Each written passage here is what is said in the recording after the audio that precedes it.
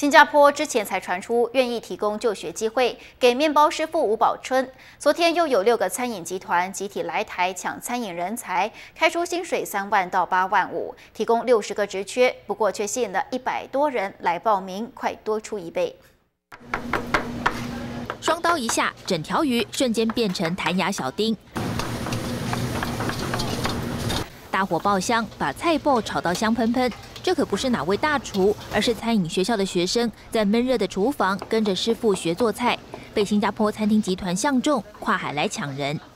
他们还是喜欢去做那些什么办公室啊，在吹冷气那些工作。而且是我们台湾这边的话，就是我们华人就有一种比较务实、比较耐劳的那种那种个性。在新加坡有四十家餐厅的同乐珍宝，总共六个集团来台要征领班服务生，起薪三万元，主管更逼近八点五万，女生每个月还补助两百元的化妆费，工作满两年再送回台湾的机票，开出六十个职缺，却挤进一百多人报名。觉得钱的话，就是跟台湾的差不多。那最主要就是因为有这个机会出去，就出去看看。那虽然我是学西餐，但是中式的方面，因为中国人大部分就普遍就是很多嘛。那吃的也当然是中餐比较多。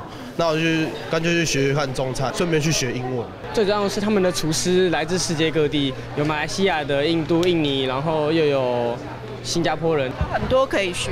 对，没错。新加坡本地人大多不爱从事服务业，业者表示看好台湾餐饮人才，因此才不惜重金来探路。金唐亚太电视综合报道。